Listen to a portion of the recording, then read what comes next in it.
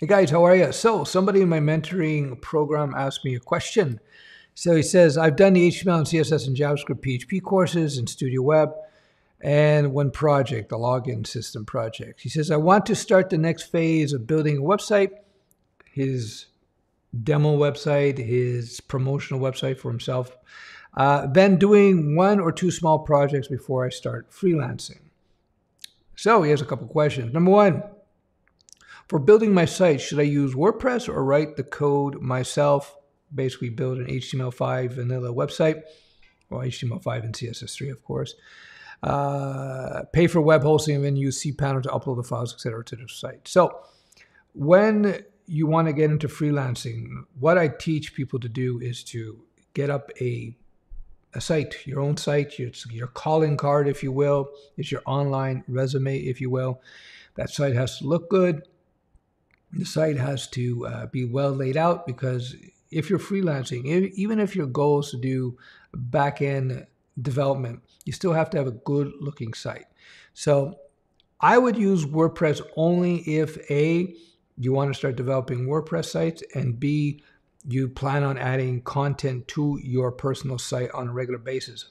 Otherwise, I would just do it in plain old HTML. If you're just putting together a four or five page uh, resume site, if you will, uh, then I would just do it HTML5 and CSS3. That's all you need to do.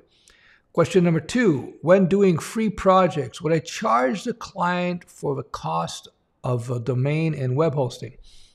Yes, they would pay for that because that's their site. What you're giving away for free is all the skills and the execution. Basically, you're building it for them. So, with regards to the domain and web hosting, what you would do is number one, partner with a web hosting company and they'll do it for you, no problem. Why would you want to partner?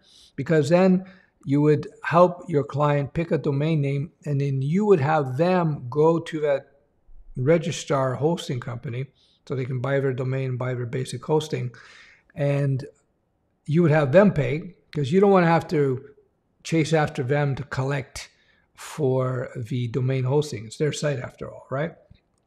Um, but what's cool is you could set yourself up as an affiliate, and then you can make money when your client buys domain a domain name and hosting from the uh, the hosting company. Most hosting companies, by the way, by the way, will offer domain names and hosting, and they'll offer a kickback to you if you uh, refer clients to them.